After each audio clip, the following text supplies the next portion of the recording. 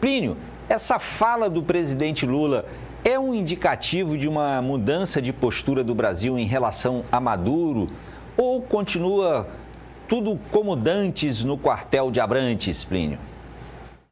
Olá, Tardão. Boa noite para você. Um salve, uma saudação a todos que nos veem. Eu não, eu não vejo uma mudança significativa, não, viu, Tardan? Porque ele repetiu o que vem repetindo desde o começo, que ele quer ver as atas. O problema que eu acho agora é que, é, nessa altura do campeonato, quem é que vai confiar nessas atas, né? Porque o tempo que passou abre a possibilidade de haver uma fraude. Né? Mas, de qualquer modo, a mim me parece que essas atas não vão aparecer. Né? O, o Lula disse nessa entrevista aí que não marcaria data, que não seria, ou foi o Amorim, não sei, que não marcaria uma data, mas o tempo tá, está passando, não é? E surgiram outras propostas. O Celso Amorim chegou a falar em novas eleições, né, que foi rebatido pela líder oposicionista Corina Machado. Né?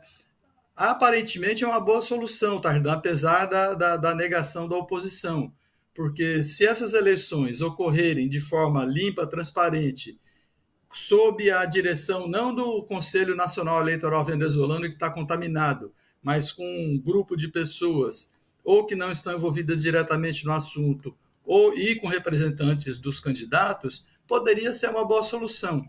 Agora é compreensível também, né, que a oposição rechace essa essa essa proposta e insista no resultado das eleições que aconteceram agora, que segundo é, o Conselho Nacional Eleitoral venezuelano foi vencido pelo Maduro, que é extremamente duvidoso, viu, Tardan?